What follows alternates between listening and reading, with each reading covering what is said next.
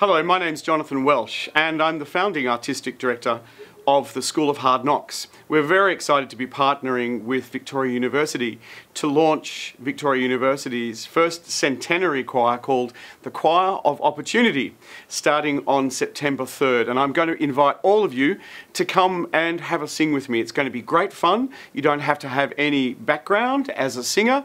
Uh, I'm going to teach you everything that you need to know, and we're going to get to sing at lots of wonderful events. So please come and join me uh, at the Choir of Opportunity from September 3rd.